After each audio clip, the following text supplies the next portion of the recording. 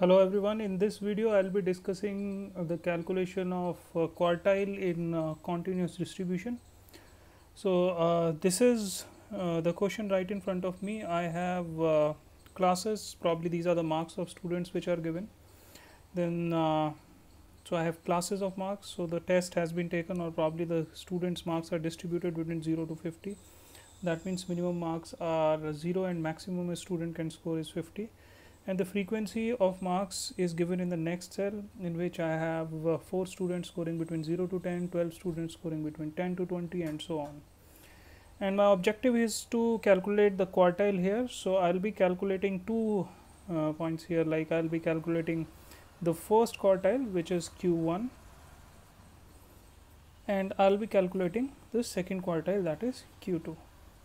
So, let us see what is the problem that means what goes here what is what is going to go in the first quartile box and what is going to go in the second quartile box. So these are the two objectives in this particular problem. Okay uh, i know the second quartile is okay, always equal to median. So instead of q2 let's calculate q3 the third quartile. So these are the two calculations which i am trying to make here.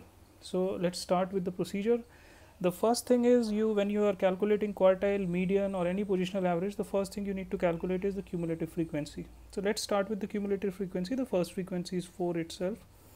The second frequency is 12 plus 4 that becomes 16 the third frequency cumulative frequency is 22 plus 16 that becomes 38 then 38 plus 9 which gives me 47 and 47 plus 3 becomes 50 so, uh, the last cumulative frequency is 50 a little cross verification. You can total the frequencies. That is also 50. So, these two numbers are supposed to be same that is a little cross verification. Let us start for what is R here R is actually the number of quartiles. So, if I am calculating Q1 that means first quartile R becomes equal to 1. If I am calculating Q3 that means third quartile the R becomes equal to 3. Let us first do the calculation for R is equal to 1 that means for q1. So, in order to know q1 my first step is always to calculate r n by 4. Why I am dividing it by 4? Because quartile divides the data into 4 equal parts and what is capital N? Capital N is nothing but summation of f here. So, since I am calculating first quartile r becomes equal to 1, r becomes equal to 1 times 50 divided by 4 that is my value of Rn by 4 in this case and that comes out to be 12.5. So, this is multiplication right here 1 times 50 divided by 4.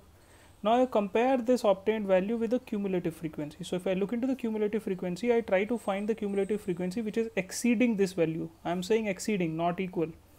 So, 4 is less 16 is exceeding moment I find an exceeding value of cumulative frequency the corresponding class will become my quartile class.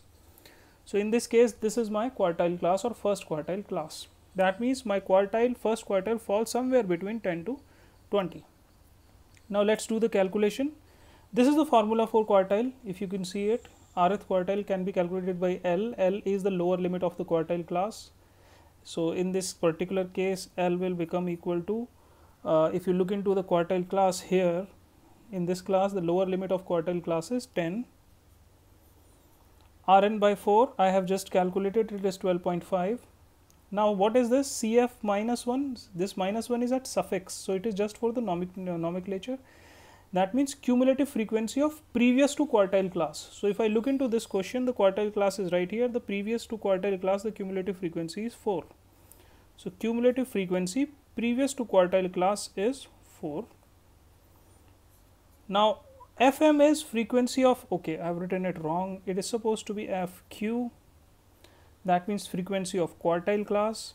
So, frequency of quartile class is 12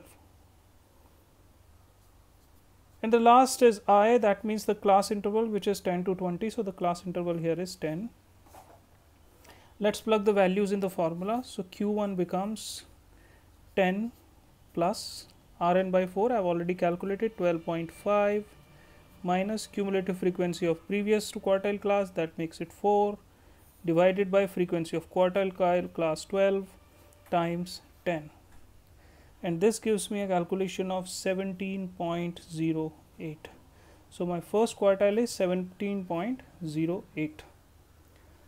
Now let's see what is the value of my third quartile that means Q3. So uh, now in order to calculate Q3 instead of calculating 1 times n by 4 the con uh, concept remains same I will be calculating 3 multiplied by n what is n 50 by 4 so I hope now you understand what is R. R is the number of quartile which I am calculating. Since I am calculating third quartile, so R becomes equal to 3.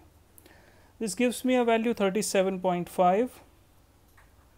That process remains same. Now I'm going to compare 37.5 with my cumulative frequency class. The exceeding class is this. 4 is less, 16 is less, 38 is exceeding. So this becomes my third quartile class. Again, I'll identify the values of L, which is 20 in this case, the lower limit of the quartile class. Then I identify the value of cumulative frequency of previous to quartile class, which is 16. Then frequency of quartile class, which is uh, right here 22. And then of course the class width, which is equal to 10.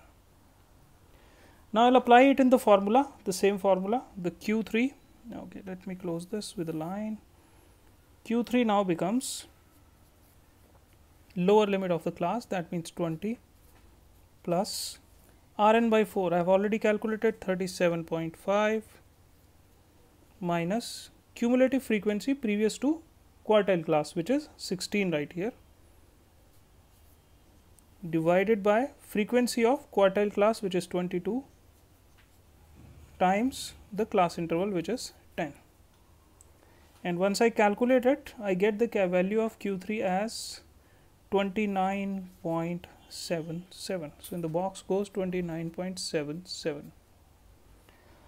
now uh, let's see the diagrammatic representation of it.